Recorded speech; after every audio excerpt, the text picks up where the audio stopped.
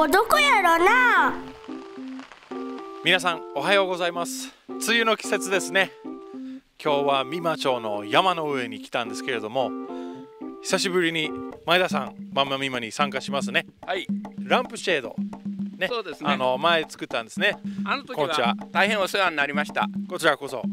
今日はこのランプ制度のね元になります繭を作ってる農家にお邪魔しております。どうぞあの一緒に今日幸い今日は今日から繭作りが始まっております。それであのぜひ見ていただけたらと思います。わかりましたじゃあちょっとどうやってそれを作るか今日見ていきましょうじゃあ行きましょうかはい、行きましょう。眉ってどんなにできるんだろうな見てみましょう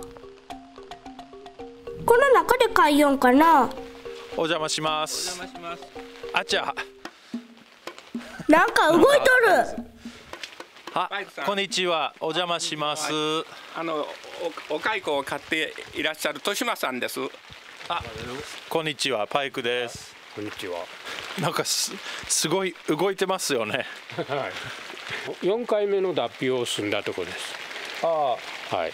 それでこれから繭を始めるんです。じゃあえこれからあのシルク作り始めるってことですね。絹をこれから口から吐いて繭を作るんです。ここでは愛媛県の業者からおよそ3000匹の幼虫を仕入れて育てたんやって。初めは1センチほどの幼虫やったんやって。それが3週間で7センチほどの大きさになっております。このあの緑が結構あるんですけど葉っぱって何の何の葉っぱですか？これは桑の葉です。桑です。はいはい。桑だけしか食べません。どのぐらい食べるんですか？1日3回ほどやるんです。新しい葉っぱをはいはい。そしたらもうこの桑の葉の分がなくなるんです。食べてしもて。はいそしたらまたやる。結構食べ食べるんですねあのい一日に3回するんやったら食べますあのよけ買いよったら眠らんと取らないかんぐらい 昔はねここちなみに結構暑いですね中は、はい。あの20度から30度ぐらいの間で買わないか。湿度はなんぼ6070%ぐらい。ちょっと蒸し暑む虫ですね。これから夏はこのこの感じになりますね。いや夏はまたすあの気温が上がるきね。今度下げるのに苦労しますね買う人は。なるほど。まあ一応言えるのは虫は蒸し暑さがいいですか？はい。そうです。いけた。バイク今日もダジャレがされてますね。次の日から眉を作り始めます。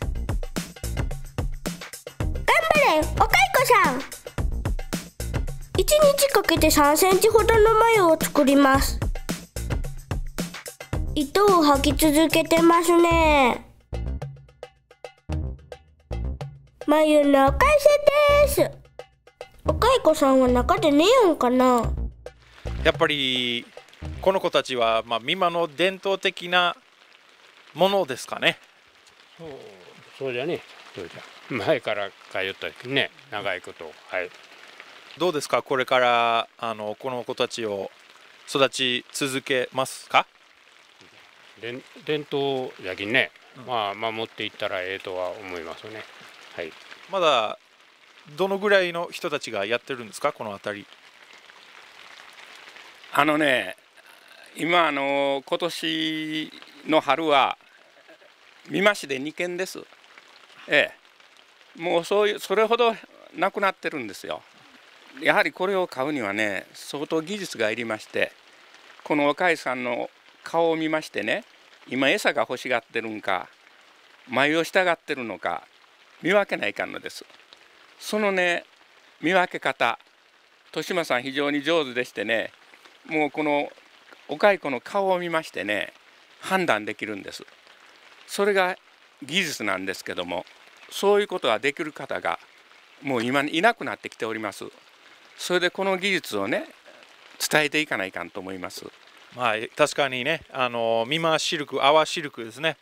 すごく綺麗な強いシルクですしやっぱりいい伝統だと思いますからあのすごい頑張っててありがとうございます。あのお疲れ様です。ええ頑張ります。これからのお蚕マスターの育ちよろしくお願いします。はい精一杯やります。ということで、えーこれからも美馬の伝統を続けていくと思います今日はありがとうございました。皆さんバイバイ。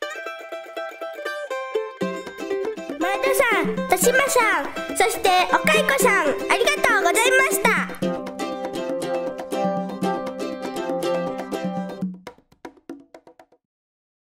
やっぱ可愛いペットですね。どうぞ。バイクほんまは苦手なんやろ。